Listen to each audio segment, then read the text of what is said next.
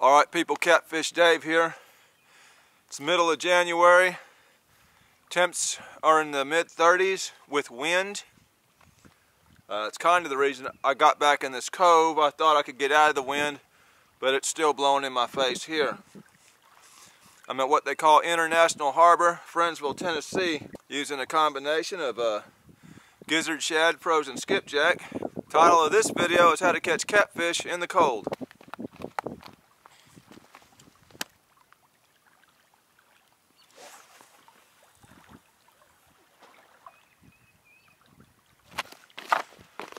I'm trying out a new kind of braided line this morning.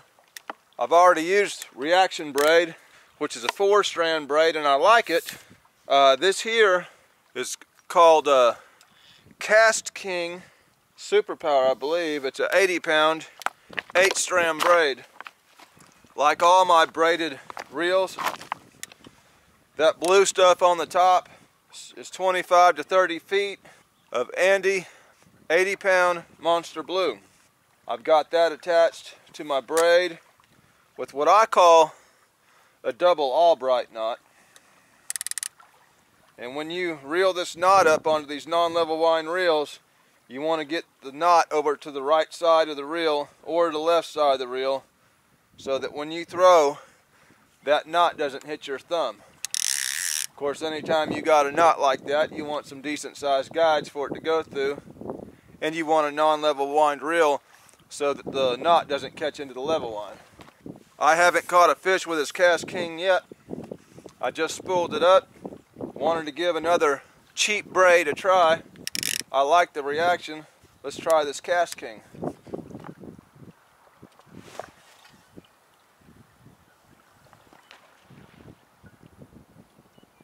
I tried to get that bait kind of more towards the marina, but this crosswind kind of got me pretty close to my other bait. Either way, there's water out there, so there should still be a catfish out there somewhere.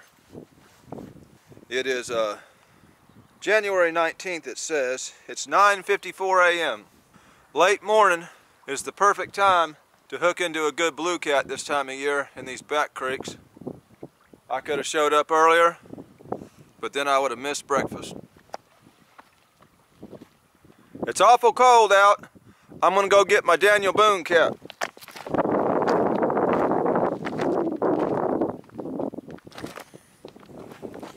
That's what the stuff looks like. There was uh, 547 yards on this spool, and it was dirt cheap. A guy named Chris Pluck from Europe said this is all he uses for those Wels cats. Says he's landed over 200 pound fish on them. Of course, the only deal with braid, I don't know what it's like over in France. We got a lot of rock around here, which is one of the reasons I tie the heavy top shot on my reels. Gives me some abrasion resistance around the business end. I'm hoping this wind slacks off a little bit as the day goes on. I'm not getting that great of a cast when it ain't to my back. I do best here with the far cast. That's where that channel is out there.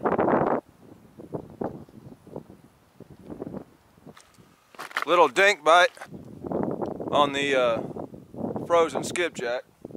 Hopefully we don't get too much more of that.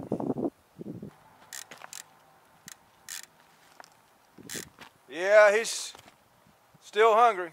That almost sounds like a dang channel cat. This is way, way up a backwater creek. Very large backwater creek. It's kind of part of Ish Creek, typically in the winter. There's fish in here. Sometimes there's some good ones. I'm gonna go grab a warmer jacket. It's one thing to be cold, but it's another thing when it's windy and cold. I'm gonna go up to the truck, get a goose down jacket. If I get a bite, holler.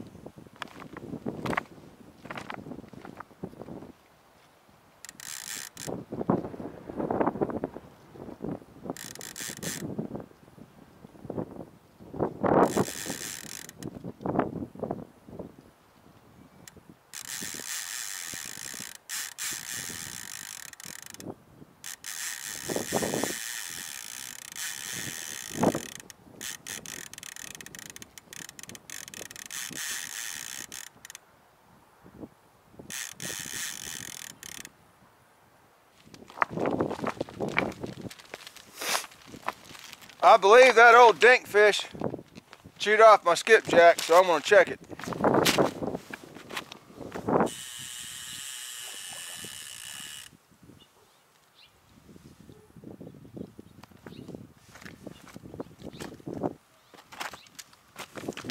He bit the bottom right out of it. That's a sign of a channel cat for sure.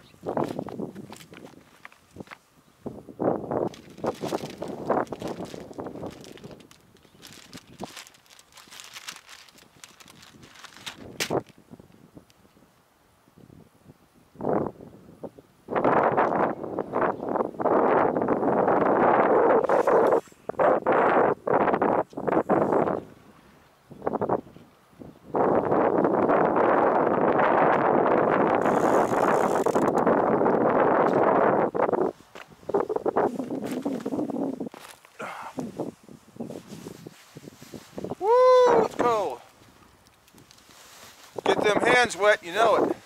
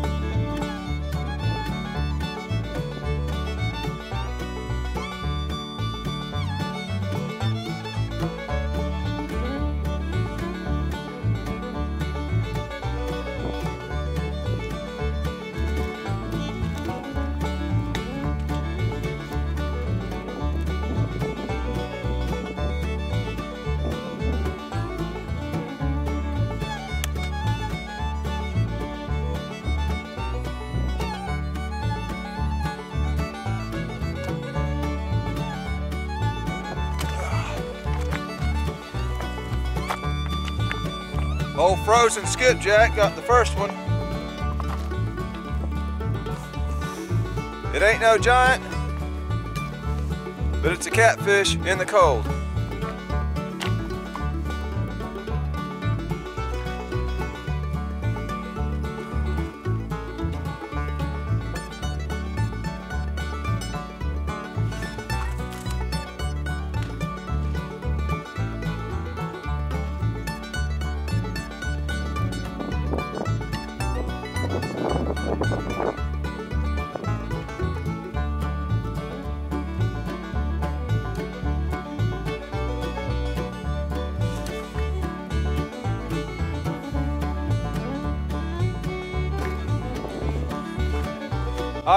That first cast, stopped it dead in its tracks. My shock leader stayed on, my bait stayed on. This cold weather, man, everything acts funny, including my thumb on that reel. Either way, first fish landed, and it was on the KastKing braid. Not a peep on the gizzard shad yet.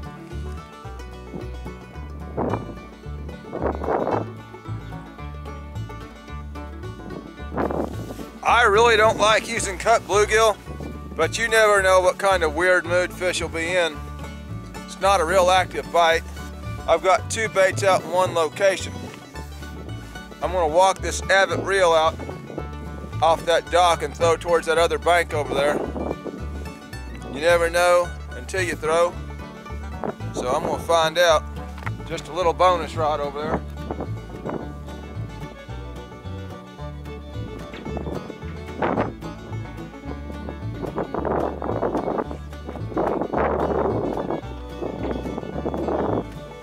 I'm not getting any kind of cast at all in this cold. Plus the wind. That cold weather gets in the oil of them bearings and thickens them up. Perfectly calm day, I could probably get a little bit of distance, but I've had it get so cold that I would put my reels in my truck with the heater on and let them get good and warm and then run out and cast real quick. It's 1048. I'm gonna give it till about 1230. If nothing's good happened by then, I'm going to go ahead and pull anchor.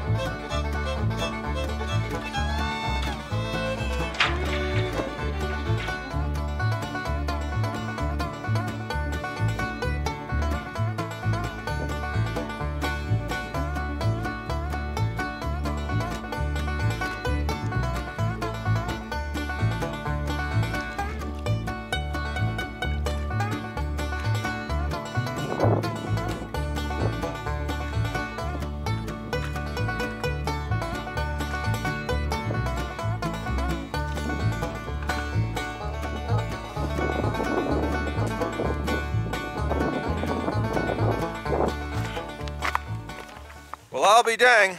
Best fish of the morning. Come on a bait I figured I wouldn't get anything on. Old bluegill head. And uh, typically, when I catch fish here, I mean, I've fished this place plenty of times. They're usually out in that channel. This fish was by himself over towards them docks.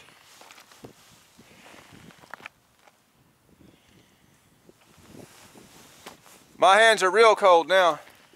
I'm gonna do that again. I'm gonna get another piece of bluegill and walk it over there.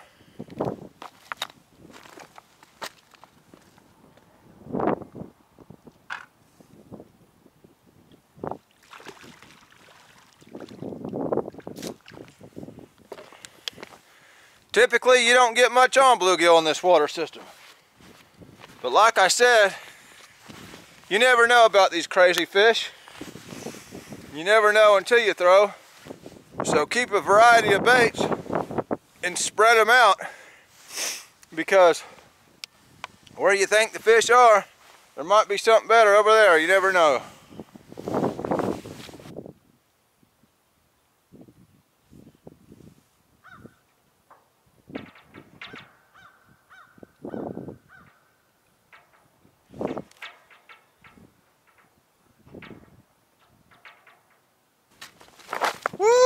Cold. As that sun's coming up, it's moving behind a tree, starting to put me in the shade. I don't like that. I've got some extremely small fish chewing on my skipjack. It's been going on a while. I'd say there ain't much left but some skin. Gizzard shad hasn't had a bite all morning, which I find odd in the winter. And this wind just ain't let up. It can't just be cold, it's got to be cold and windy.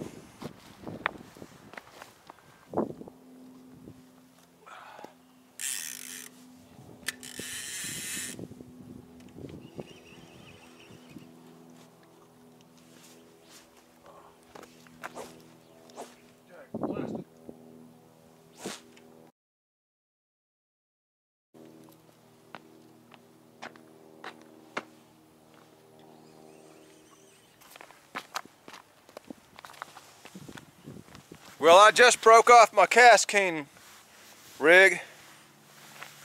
I ain't never got hung up out here before, but I sure did that time.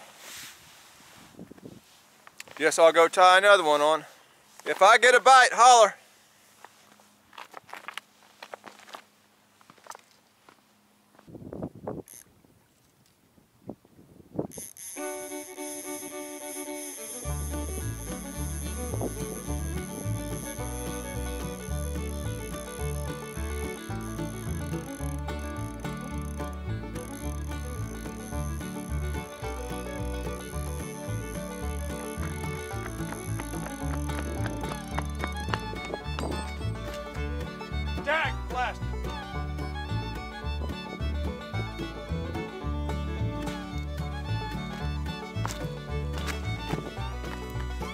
I guess it was that rod going off. Can't hardly hear in this hat. I heard one of them going off. Then I lost my Mustad Demon.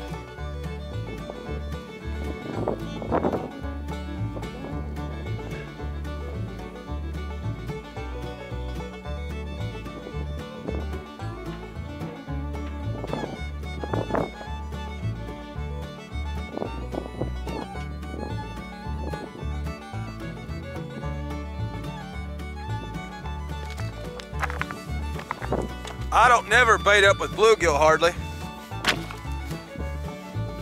But one of the fish was landed on bluegill. And that bite I missed while I was retying this rig was on bluegill.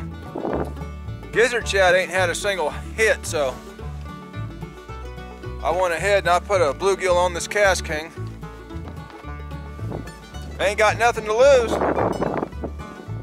Also, that's two bites farther towards this side. Now the wind is blowing this way.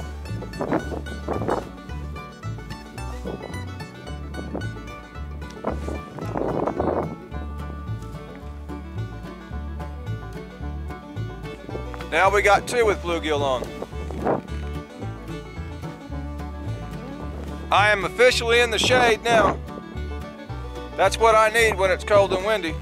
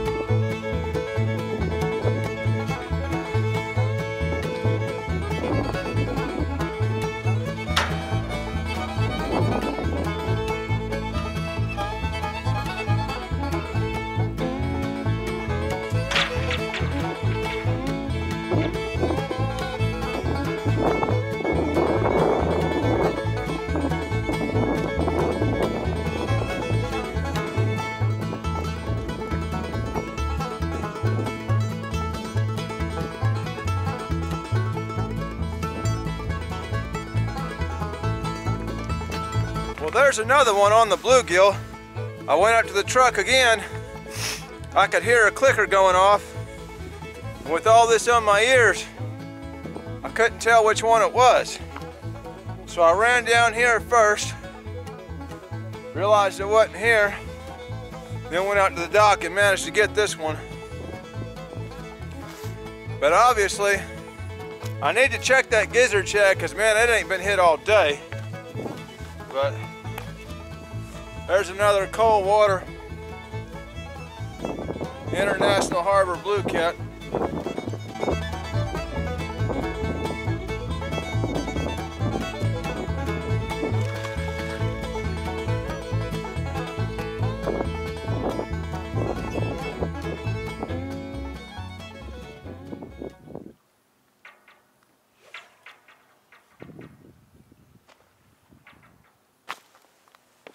Old bluegill head on my KastKing rod just got a small bite. He's still playing with it.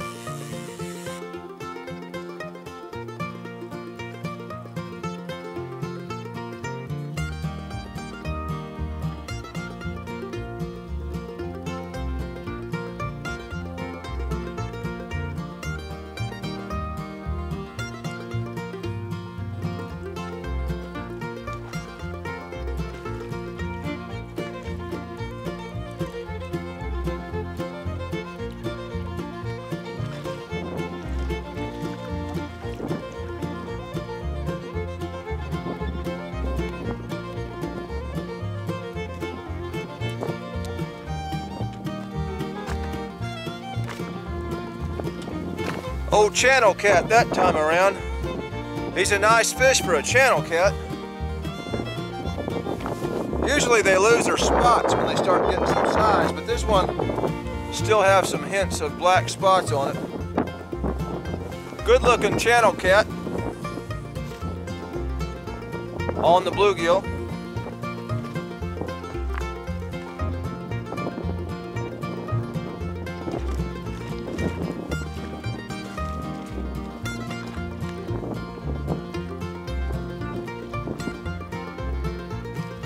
Got some Walmart eagles showing up. It is sunny everywhere except for right here where I'm standing. That dag blasted sun has went behind that tree and now I'm standing in the coldest spot that I could be. And since it's cold outside, that ain't the best scenario for me. Seems like the best bite was on bluegill today.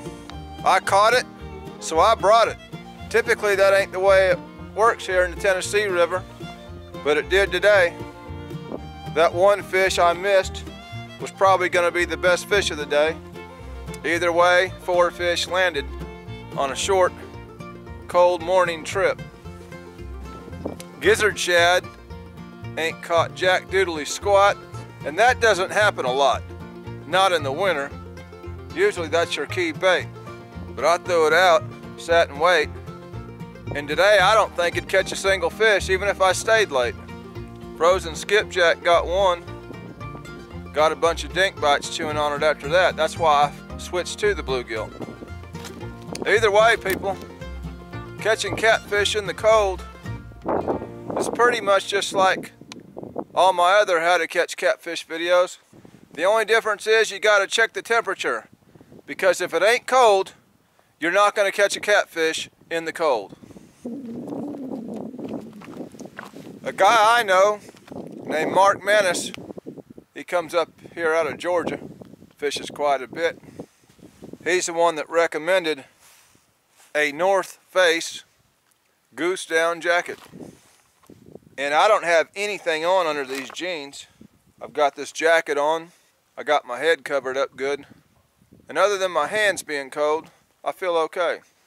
If I had some coveralls on, I'd say that would really make my day but I don't. I got them in the truck, just too lazy to put them on. All right, people.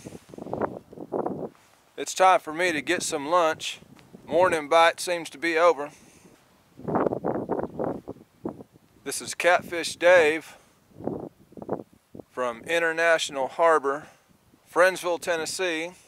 This is a video. There was fish in the video. That makes it a fishing video. This is Catfish Dave with another one. Signing out.